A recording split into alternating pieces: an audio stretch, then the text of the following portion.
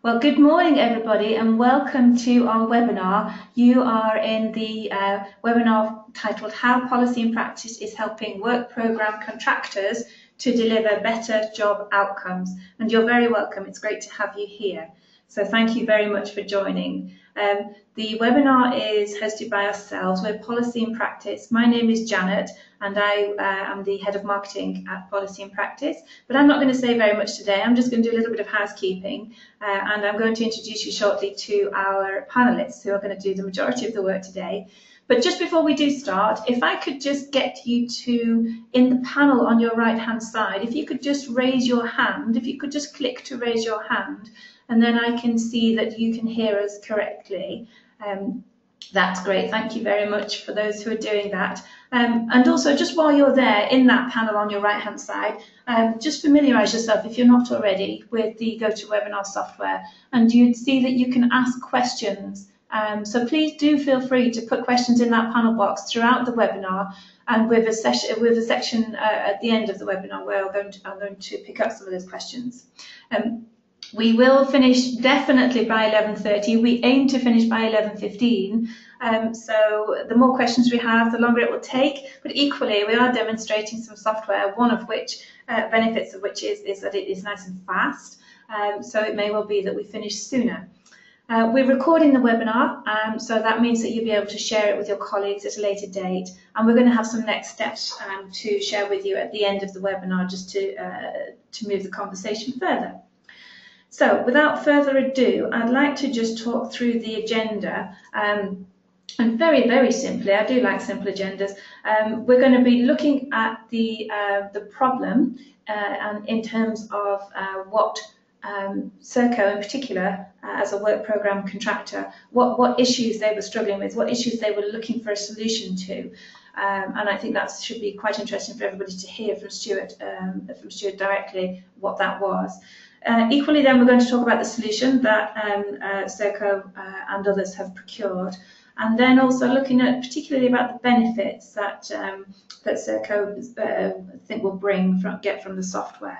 And then we're going to do Peter's going to do a demonstration of that software, and then we're going to leave you with a bit of a summary at the end.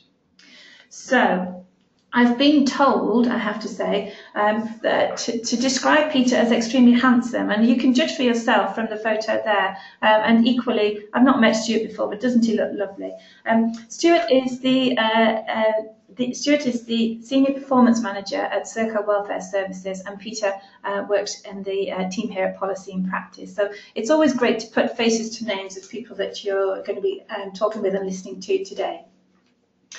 Okay, so um, just a little bit about policy in practice before I hand over to Stuart to talk you through Serco. Um, policy in practice, we are a social policy software and consulting business, which sounds very grand, um, but this is why we have a nice simple Venn diagram to, to illustrate what we do. We were founded by Deven Ghelani, who was part of the team that developed Universal Credit at the Centre for Social Justice. And when universal credit was adopted, Deven saw this as a unique opportunity that not many people have in the policy world, which was to have your idea actually put into practice. So at that point, he had two options. He could move on to the next policy report, or he could try and make universal credit work. Unfortunately, he tried. He did the latter.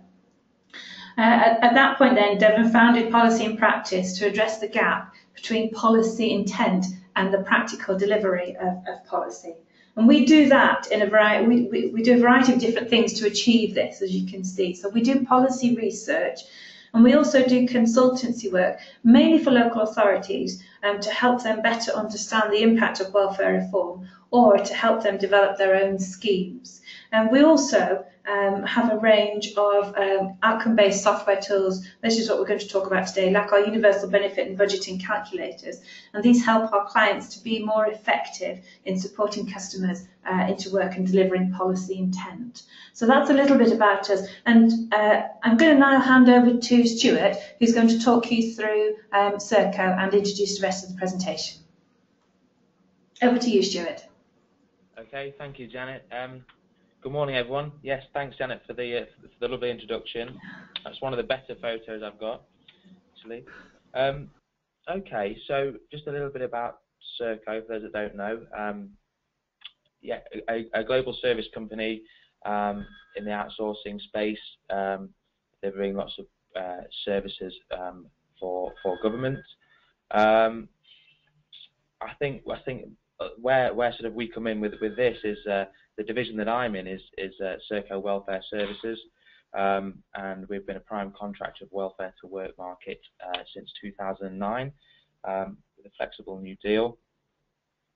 Um, so what what do we do? We we're currently, amongst other things, in the welfare services division, um, prime contractor for the work program. Um, we cover this in, in, in, two regions. That's the South Yorkshire region, uh, in which I'm based, and down in the West Midlands. Because um, this will be useful context for later as well. Um, our delivery model as a prime is to deliver the work program um, uh, through a uh, through through a, through a supply chain. So we, have got a, a, fully supply chain model. Um, so we then subcontract those, those services out, and we've got a um, we've got roughly about sort of 25 25 subcontractors across um, the two regions, uh, delivering um, sort of uh, different different parts of our our model. So it, can it, it has the uh, potential to be a little bit complicated. Um, so, what's some of the problems we've we've experienced to sort of put put this into context? Um, to start with, actually, one of our minimum service offers for the work program contracts was that all uh, customers would be uh, entitled to a better off in work calculation. Um, or, again, having having sort of our delivery uh, delivery subcontracted out. Um, that, that in itself poses with a challenge to ensure that, um, that that was being offered and delivered on the front line and there was consistency um, in that in that delivery. Um, what we actually found found was that um, we had lots of uh, we had some issues, shall we say, with uh, with with advisors on the front line and, and organisations um, not having the confidence and, and, and knowledge to to deliver um, effective better off in work calculations. Um, there was inconsistencies in the systems they were using across across our network. Um, some were using some of the free systems, and some felt that they needed um, the expertise to be able to uh, complete these off in work calculations and have um, constructive conversation, effective conversation with customers about their benefits um, and what they'd be entitled to when they moved into work and how much better off they would be. Um, but again, you know, one of the one of the one of the reasons why we, we put that in as a minimum service offer is because we realise that how powerful a tool it can be um, to help overcome customer misconceptions and, and, and overcome those those those barriers to employment. Know, one of those barriers to employment is customers thinking um, that they won't be better off uh, once they go into work. Uh, okay. On to the solution. Um, so, realizing this, um, we wanted to um, find find a good product that would help us sort of uh, sort of overcome some of these problems and ensure that we, we were offering our minimum service offering, offering a um, um, a good a good service ultimately to our to our customers. Um, so we began a trial period with policy in practice. They came in uh, and presented to our senior management team, um, and uh, we, we, we, we trialed this in August 2014 with a, with a selection, I think just four of our, our subcontractors, uh, a mixture of, of, of, sort of larger and, and, and, smaller ones to get a good, good feel. Um, and the, the, the, feedback was has been positive. Um, you know, ultimately we uh, we've we've uh, procured the service and we've we've, we've taken um, the policy in practice better off and work calculator forward, and we've now launched that. Um, so, some of the key reasons that we've decided to choose to choose this product, um, and this was, you know, after after a reasonable uh, uh, trial period and, and consulting with our network and, and making sure we got we got we got a, um, a, a, fair bit of feedback. Um, I think most importantly, it was about uh, the usability and how easy frontline advisors found this to use particularly compared to others that they'd used and others that we'd seen. Um, some of the things to note were that the, the, the added features around this usability, around the um, the budget calculator in particular. So not only is the work program about getting people into employment, but ultimately it's about sustainable employment. And so, so they found that as a real powerful tool to, to help with customers once they're in work, um, to help them budget and, and, and ultimately um, help, help them stay in employment. Um, again, obviously with the uh, with uh, UC coming on board soon, Universal Credit, the fact that this had the capability and adaptability to, to universal credit was was obviously a strong strong selling point. Um, and again, as a as a as a prime contractor, there's a whole a wholly um, supply chain model. Um, you can imagine that the ability to to track and monitor um, management information and management reporting on what our subcontractors are doing is is extremely important. Again, as I mentioned, um, we knew there were inconsistencies across that uh, across our supply chain.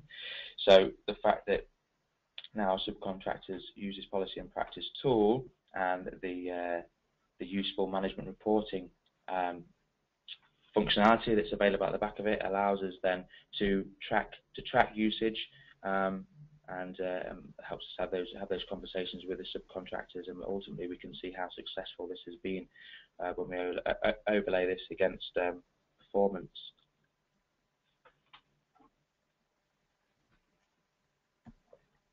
That's great. Thanks, Stuart, for that. Um, perhaps if I just pick up very quickly now, uh, and we can come back in, in, a little while, unless there's any, anything else pressing. Um, certainly with the calculator tool, this is Peter, by the way, speaking, the the, um, the handsome one um, that you saw earlier on. Uh, just sort of drop that in. Um, what I want to do now really is get into having a look at, um, oh, sorry, some of the benefits. We, uh, sorry, I forgot about this slide. So this is some of the benefits, but we'll come on to that probably in a, in a minute. I'll leave that slide hanging, and we'll come back to that a little later. And then, uh, and then if you want to pick up on some of these points in a, in a minute, Stuart. But I think what we might might want to do just at this stage is, is have a look at the, the software itself and get into that. Um, I just wanted to quickly, um, before I do that, show show this. The, in terms of what we do with policy in practice, certainly some of the stuff Janet mentioned, uh, we have a lot of resources or a few resources on our website that you might find useful.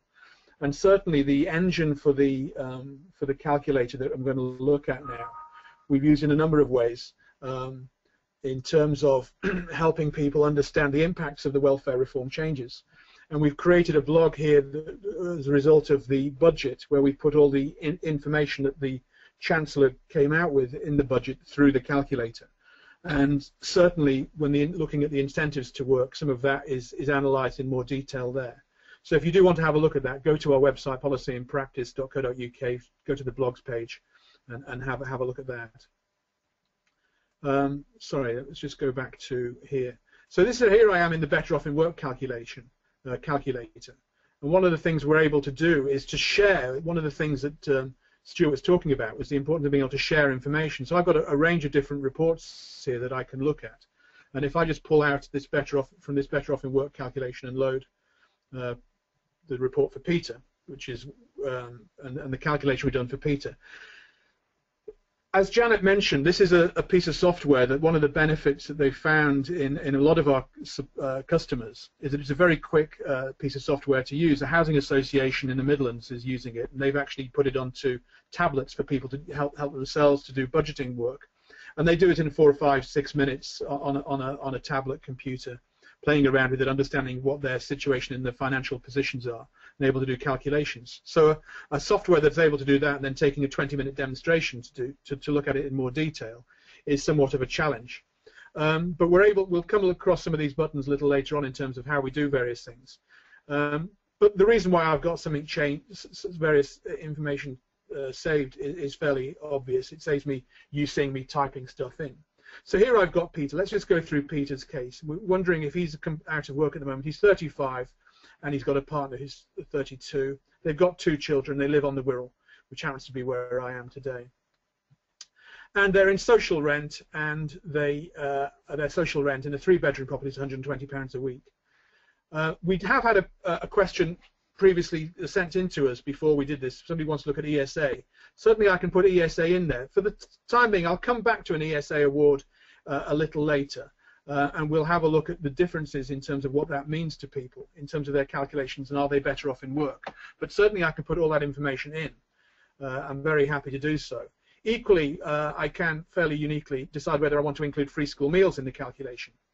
And I can go and look at all time kinds of disability that people may have within the household and, and cover all that information off as well. Uh, for the sake of a simple calculation, I'm going to leave that blank. And if there's any other circumstances that people may have, uh, I can complete all that information too. You'll notice that as I hover my mouse over a particular box, it's actually saying, uh, giving me guidance. So the, the, the, the, importance of providing your advisors with guidance in terms of what they're completing and what that means as they complete things is fairly, in, in, is fairly simple.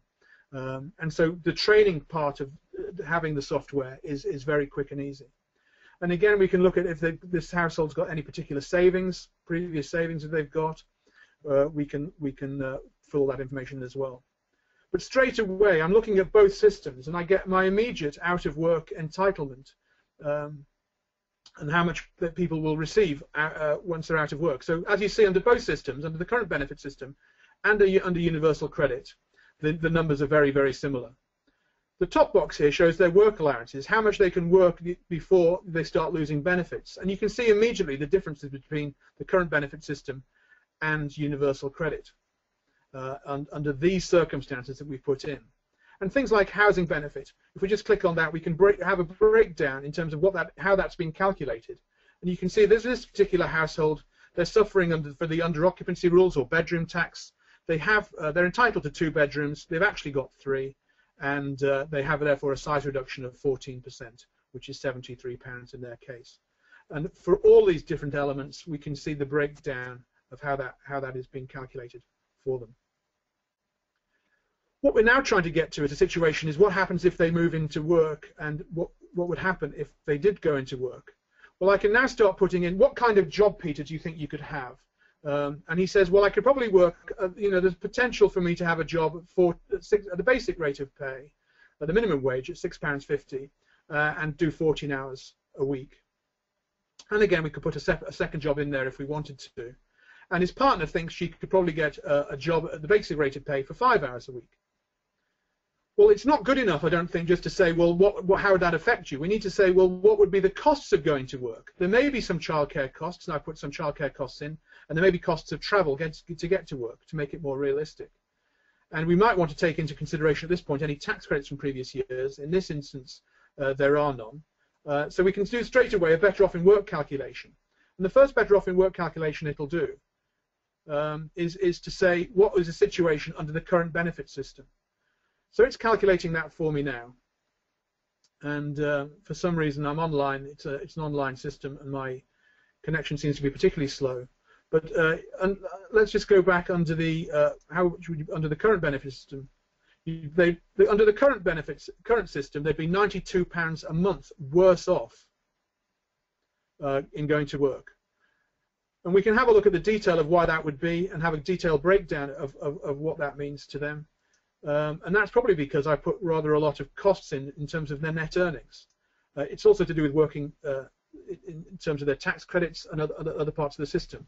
But they are losing, as you see, £92 a month in, in, in childcare and £43 a month uh, in, in, for travel. Uh, but also the way the benefits breaks down means that they are losing, uh, they're not getting any work uh, tax credits back. and so we can have a complete breakdown of what that means. Uh, as we go through all the, the system. Um, so they'd be better off by, they'd be worse off by £1,100 a year. Um, and if they're affected by the benefit cap, we can have a look at how that how the benefit cap would be affecting them. In this particular instance, I don't think the benefit cap would be affecting them greatly. But we can get an analysis under the under the benefit cap uh, of what's happening. So they're not losing anything on the benefit cap, but they are losing by going back to work. Um, so you'll be better off under universal credit though by £325 a month. And again, we can have a breakdown here. We can see the complete breakdown of where that income is coming from and see how that's affecting them. Now, if that if they are on universal credit and they think that is in, of interest to them to go back to work, one of the things you can start doing as an advisor is have a conversation. Say, well, what kind of job do you think you could do? Well, you might want to be a carpenter. Where do you want to be a carpenter? Well, he's based on the Wirral, so I can put in Wirral here as part of what I do click on the Universal Jobs Match link, and it immediately links me to Universal Jobs Match for available jobs on the Wirral. So as somebody who's having a conversation, uh, and for those of you who don't know, Birkenhead is uh, not the capital of the Wirral, but it is certainly the uh, the main town on the Wirral. Um, ferry across the Mersey and all of that. Um, immediately links you to available jobs, completely up to date for uh, for carpenters on the Wirral. And again, we can have a breakdown of what that means in terms of benefit caps and so on. The other thing we can start looking at, though, is their take-home income chart. And to help advisors understand, I find this as, uh, help, really helps advisors understand how the benefit systems work and what the effects of going to work are. And you can see that working tax credits, as they're a couple, don't really kick in for a little while, and they're losing money at this stage. And so every for every pound they're earning under the current benefit system, they are losing benefits until you get to a certain point. and we can see what those points are, and start advising people, actually you are working this amount of time, if you worked a few more hours a week, you would be better off in work, and where that works, and how, how that will work for them. You can see the map for the under universal credit is very much different, very much flattened out, the way it's working uh, currently uh, in terms of the, the current way the universal credit is, is being calculated. And again, the calculator allows us to do a full comparison between universal credit and the current system. So we can start seeing how that's working for the current year for out of work, uh, in, for in work, and in terms for future years. One of the things we're doing at the moment is using the calculator to start mapping this in terms of the changes that have come through in the in the uh, the budget, how that will map for future years, and how work incentives will work uh, as we move through this Parliament. We have a number of links then in terms of how people can apply for benefits, how people can apply for universal credit, and these can be customized. Uh, but we also then can come, come with an action plan for Peter and say, wouldn't it be useful if you contacted, you updated your CV and uh, call call universal call the job on universal job match that we just talked found for you. Having done all of that, it's quite an interesting thing that we can then say to, to him, we can save this case, and in saving it, we end up with a unique number. So although I'm not storing any particular personal data about Peter, I can put this into my CRM system, my, my, in my unique link that we've saved for him, and I can now also export this and say, Peter, go away with this document so that you can see the incentive, see the reasons why you'd be better off in work. So I can now download this document as a PDF. If we just give it a moment to do that, this is normally the time when we're in an interactive uh, meeting. Uh, people can ask questions. So if you do have any questions, I don't know if Janet, anybody is asking any questions, um, feel free to either raise your hand or just type them into the dialog box, and uh, and we'll cover them off um, as you as you do it. Here we go. There's the PDF just coming out. My computer's particularly slow today, so just to download the PDF, um, and then we can we can see the the document that we can then pass on to Peter and his partner, uh, so they can take this away with them and understand what they're doing. And again, if you've got multiple agencies, you'll be able to share this information with other agencies. Uh, we started working in Newcastle uh, with the with the local authority there and with Your Homes Newcastle uh, for doing this kind of work. And the way in which they had been working until they bought um, the benefit calculator was they were saying it takes them sometimes five times they're entering into different systems the same information to be able to support people either back into work or with their budgeting calculations. And because we can share it, it's saving them a huge amount of time and money in doing this. So here's our document. We've got our unique reference number that we can find find again if we need to. Um, and then we can just go down our document and see the kind of information in terms of our action plan.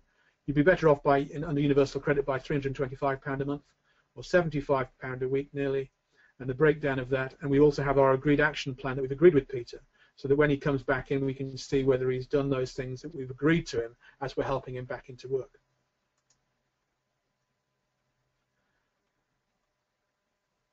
Just very quickly, one of the things that uh, Stuart uh, talked about was sustainable work and helping people budget. I've got rather a lot of calculators on my system, let me just move to the budgeting calculator um, because the budgeting calculator starts helping us to understand. Um, just log, log back in.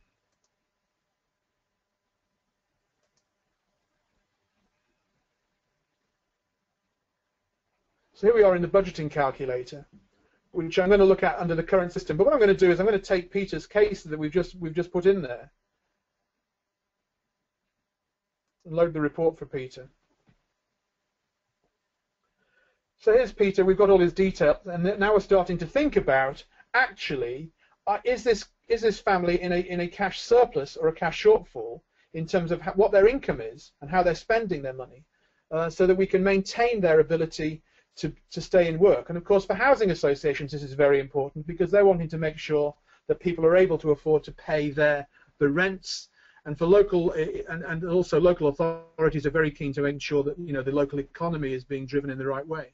So we've got all our information, our basic information that we've we've already put in uh, for for for Peter here. Uh, again, we can add disabilities, other circumstances, and all their earnings. So if they do have earnings from from from from work, we can put that in. So obviously, I put various bits of information in. Just for the sake of argument, I'll leave that as zero here. So we we we picked up what the, what earnings that, that him Peter and his partner would have. But just for the sake of uh, showing the software in terms of what we can do about being in a cash shortfall, I'm going to put this in as zeros. Go to step two and we can see what the take-home pay is.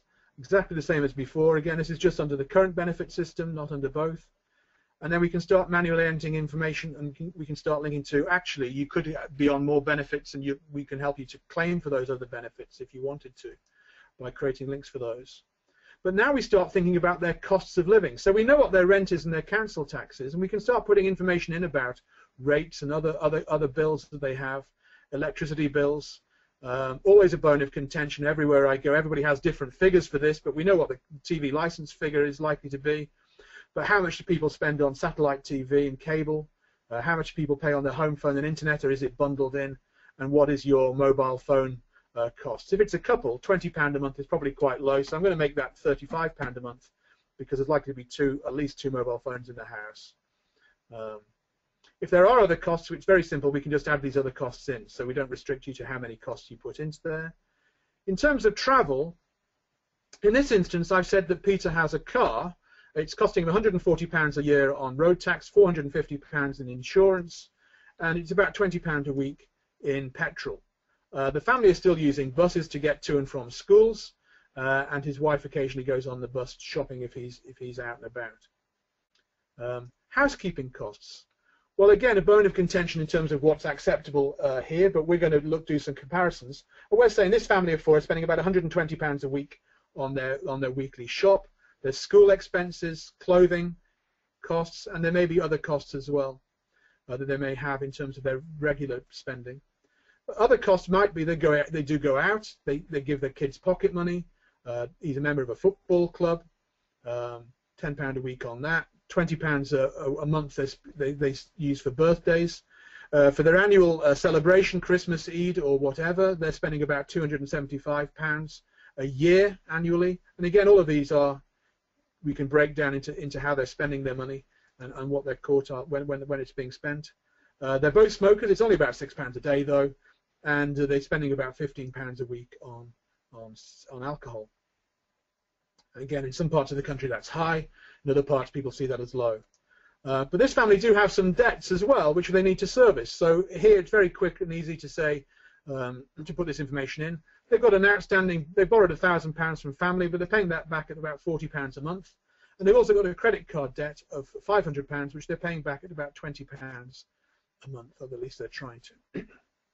Uh, any other debts they have in here, council tax arrears, utility arrears, rent arrears, we can put into here and there may be some student loans, and they may have bought uh, stuff on hire purchase. Again, all of this can go in here.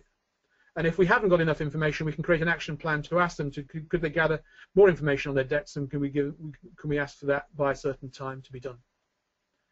So this now means that we can start working out, based on all their income and everything else they're doing, is there a cash surplus or a shortfall? And we can see that this family have a cash shortfall each month of £401.40p. So despite the fact that their spending seems to be normal, uh, and we're not being very, uh, we're not being judgmental, we can see a breakdown of where that comes into. So as to keep them in sustainable employment, what we want to do is have a conversation with them about what they can do about this. And clearly part of what they can do about this may be to go back into work. Now, in some organisations we go to, housing associations and the like, they may have severely disabled people who couldn't consider uh, going back into work. So we may untick this. But of course, today's uh, webinar is all about getting helping people to, to work, so we'll keep that in there. But also, we want to think about their economy in the round, their, their, their, their cost of living in the round. So looking at bills, other items, and maybe moving house, and what effects that could have on them as, as, a, as a family. So here we can start looking at saying, okay, we, we, we've already talked about could they move into work. Well, they've seen the state of their, uh, their household budget, and they're realizing that actually Peter thinks he could probably get a job at the basic rate of, of pay for 24 hours a week. And his partner is thinking that maybe she wouldn't be able to do any work because of childcare at this moment. Again, we can put our expenses of going to work uh, back in here. So how much would it cost to travel to work? £12 a day uh, on weekdays um, and so on. So we go to step six here and we can see would they be better off in work? So he would be better off in work under the current benefit system, and we've seen the result of that, uh, better off in work by only £1.61 a month, and therefore still have a big shortfall. And that's because of the way in which the family is being affected by uh, the way the current benefit system works. That would be different, obviously, if I put it under universal credit, uh, as we saw before. So maybe that's not an incentive to go to work for him at the moment. So we might need to think about a different kind of job or other things. And this is one of the reasons why people are disincentivized from going to work. And we can, and I'm very happy, by the way, if people want me to put different figures in, just let me know what those figures are and we can have a conversation about it and we can discuss that. But how can this family work, do things in other ways? Well, they could potentially save £203.66 on their bills. Where could this, they're still even with the cash shortfall of nearly £200, but actually things like their electricity bill is high we do comparisons. For, we get our information from the DECC, the Money Advice Trust, and our water bills we get from Thames Water. So we're doing very strong comparisons in terms of the type of household, where that household is, and the number of people within that, the size of property, obviously, and the number of people who are living there to get our figures so we can do comparisons. And again, this is just so you can, as an advisor, start helping people to consider where they could save money and, uh, and get their, their bills and get their income back online. So yes, their electricity bill seems to be high. So does their travel bill, but not by a huge amount. Their travel bill is, is about £179.17 each month, uh, but their average bill is only £175. So it's not huge, but obviously they could consider ways in which they could save that. And other costs, again, seem to be quite high. We'll break into those other costs in a moment or two uh, in terms of how that is comparison, uh, comparing with other, uh, with other uh, people in a similar situation. So yes, we, we might want to say check on electricity use and come back and have a talk to us about that. What about money on other items? So here we can start seeing how much they're spending on other items. So the cash shortfall is £13.57 a day. That it does equate to over nearly £5,000 a year. And again, when we start looking at the breakdown of this, although their cigarettes was only £6 a day, that does equate to £2,190 per year. And it might be an area where they consider uh, reviewing their spending. And if you're looking at what the parents are spending on in terms of cigarettes, alcohol, and going out, that's nearly three quarters of their additional spending. If you include sports clubs, it's even more. But birthdays, Christmas, and children's entertainment is pretty low in terms of their spending. So again, it might be something that as a family they want to re reshape their spending. And we're not going to be judgmental, but we, might want to have that conversation, or they might want to have that conversation. It might be the first time they've realised uh, the percentages of the spending in different areas. And again, could they move to a smaller property? Well, we already found out earlier on that they were in a property that was uh, higher than they had uh, would be allowed under the under the uh, bedroom tax rules. Uh, and if they did move to another property, they'd still have a cash shortfall of 304 pounds, but they'd be able to save 72 pounds 80 in rent and 24 pounds 23 in bills.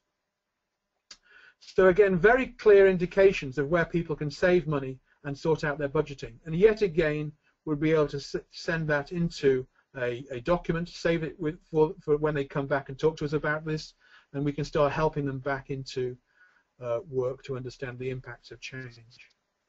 So again, I can download this, and we get a document out from this uh, for this report that it looks slightly different, it looks a bit, bit fuller, and uh, is laid out in, in a similar way to the common financial statement uh, that organisations are using uh, routinely nowadays.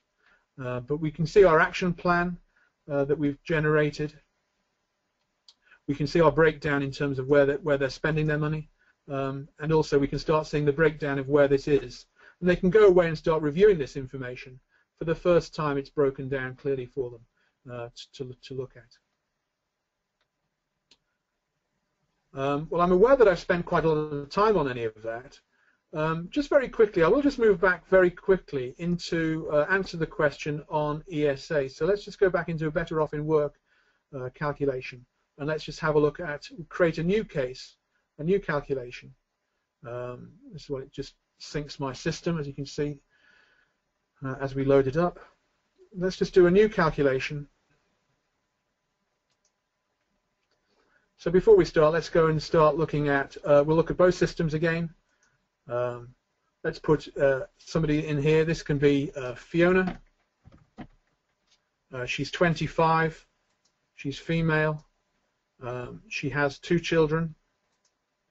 Um, she is on ESA. Um, uh, I don't know what we want to do here, but we'll let's do the assessment phase for now.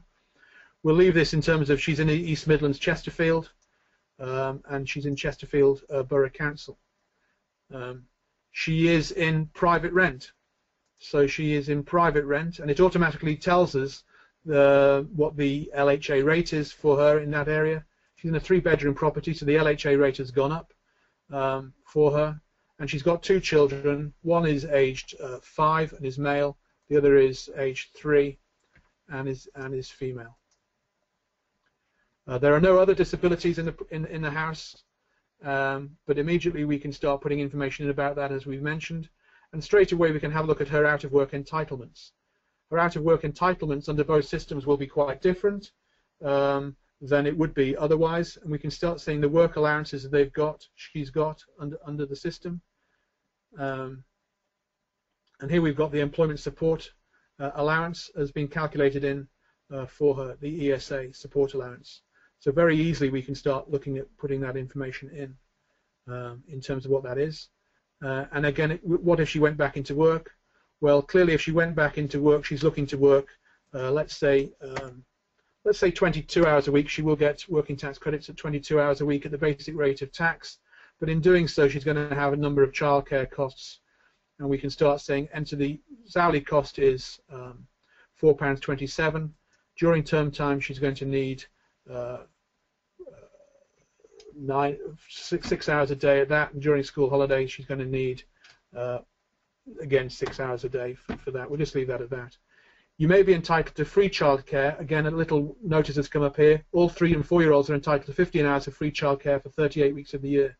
So two-year-olds are entitled to free childcare. So some information and guidance comes up straight away in terms of what she's entitled to, so that you as an advisor would be able to help her through that situation. Um, would there be any cost of going to work? Yes, the cost of going to work should be, let's say, £10 a week. And a better off in work calculation would take all this information into consideration. And under the current benefit system, she would be better off by £410.67 a month. Now, that may or not be realistic, but straight away we can start seeing how that is being calculated out. I can link that to uh, Universal Jobs Match as we did before, uh, and and um, and we can put all this information in under universal credit, she'd be entitled to, would she be better off in work under universal credit? Let's wait while it does this calculation for me. By £339, so possibly not quite as much, but we can do a breakdown of how that works when we look at the income charts as it goes through. Hopefully that's answered the question that we had from Chris beforehand. Um, if there are any more details you want, Chris, by all means, uh, give give us a call, and um, we can we can start to do that. Um, we can start looking at that in more detail. Um, so yes, there we go. So that's looking at ESA stuff. Um, if anybody wants to to look at that in more detail, I am very happy to go online and do personalized demonstrations for people, or even to visit with your you and your team um, to do that. I'm just going to just just pausing while I just go down to see if I can get to the You'll notice my Firefox is not responding, so it's my system uh, error here. So hopefully you're all still online while my Firefox isn't responding. So let's just come back to here. Um, Stuart, are you still online? I am, Peter. Happy days. Uh, hopefully that was helpful. Um, maybe you want to go through how you found some of the usage of the uh, of this on this screen here, or do you want me to go through it? I'm happy to do either way. in terms of the benefits um, that you found at, at Serco? Yeah, I think I think for me the the, the key benefit, if, if for me, that I think it's I think it's fair to say it's probably a little bit, you know, too early to directly link um, uh, the, the better off in work calculator to sort of uh, performance improvement, but clearly we can we can see the feedback from from our advisors on the front line and from our providers is is um, is sort of overwhelming that using this using this um, this this product um, it's it's it's so quick and easy to use for the advisors compared to others that it frees them up to have effective conversations with the customer to discuss the results with the customer. Um, and ultimately they found that that to be you know such a such a powerful tool to help them have those conversations about uh, being better off in work, um, talking about realistic job, job goals and all the other things that that that are important to do. So I think I think that would be um, one of the main benefits that, that we've had fed back. Um, and indeed, of course, you know that, that, that issue I spoke about earlier about the uh, the confidence that an advisor has in able to use you know the the, the, the complicated world of of, of benefits. Um, this again has has has allowed us and our providers um, to ensure that all advisors feel confident enough to be able to uh, to have those conversations, those meaningful conversations and engagement with with customers. Um, yeah, I think I'll, I'll, I'll hand back to you, Peter, mate, that. But that's brilliant. Thanks very much for that. It's very helpful input, uh, Stuart. Thanks for that. So you can see all the different uh, benefits that uh, that people are winning with that. So we, have had a quick look at the software. So in summary, uh, I think the, the things that we've picked up from this, and certainly with the case study that is available um, that uh, that Serco have done with us, is that yes, it does save advisors time. It's fairly easy to, to with a built-in guidance to help advisors. Um, we certainly found that some some of the people who have recently procured the software from us, who had been using other tools on the marketplace, have found that the graphics is very clear and easy in a visual way, and therefore people engage with that uh, much easier. Um, it's certainly comprehensive and accurate. Um, people have certainly found the, the calculator very accurate in terms of uh, their understanding of the system, and that's with um, wizened old housing, uh, local authority benefits advisors are finding it very accurate to, to do their stuff um, and, and to, to make calculations and to have accurate and meaningful conversations with, with clients. Uh, and also found that it actually does, it is outcome focused. So for, for welfare to work providers um, who are being targeted on helping people to get back to work, this the way in which we structured this is very clearly uh, enabling people to achieve those outcomes. Janet, I'll hand over to you. Do you want to cover the, the, the, the wrap up? Brilliant, and, yes. And, and, let me know if there's any questions anybody's asked. Okay, well, I think you've got yourself and Stuart have got off nice and lightly on the question front. So, um, so, so you did. You've, you've obviously done a very good job of, of explaining the, the, the webinar situation to everybody. Um, but yes, in terms of next steps, thank you everybody for attending. What we're going to do now is send you the copy of this webinar recording and also a copy of the slides as well, because we, we have had feedback in the past where people have wanted to share that with their colleagues. Um, and if that is the case, and, and as Peter said, if you'd like a demo that is tailored specifically to you, then do just say.